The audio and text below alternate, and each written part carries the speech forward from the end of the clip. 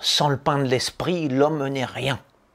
La réflexion lui donne des ailes, le libère des chaînes de l'abrutissement collectif. Bah, malheureusement, la plupart des gens dont vous faites partie, vous mes lecteurs, se laissent manipuler par le discours ambiant nivelé vers le bas.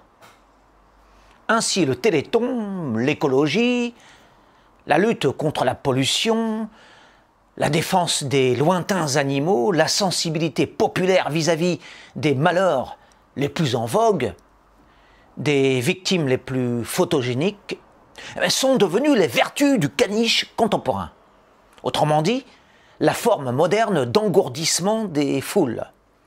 je ne dis pas qu'il faut s'exclure des événements notables de la société, ni ne pas s'engager dans quelques combats dignes de ce nom. Je reproche simplement à ces millions de chevaliers du dimanche, à ces innombrables épiciers héros, de se laisser conduire comme des ovins dans la bergerie cotonneuse de la pensée molle.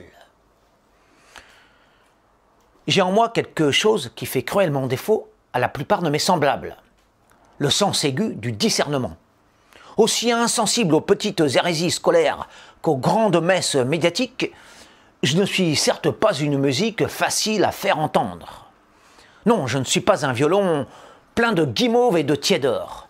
Loin de me laisser bercer par les doctes âneries de ce monde, je grince salubrement au lieu de m'assoupir. Mes contemporains sont en général assez mous, inconsistants, parfois si épris de sottises qu'ils passent directement du meuglement au braiement. Médias et télévisions nourrissent leur public au rose granulé de l'émotion maximale et de la vérité minimale. L'inverse amènerait leur ruine. Ils ne pourraient plus vendre de la lessive, mais seraient obligés d'offrir de la lumière. D'où leur intérêt à continuer en ce sens. Parmi cette population alourdie de bêtises, engluée dans les flasques certitudes du siècle, je ne veux pas être un loup comme certains, ni même un renard comme d'autres encore moins un mouton comme la majorité. Mais un oiseau, un aigle, est volé au-dessus de la mêlée.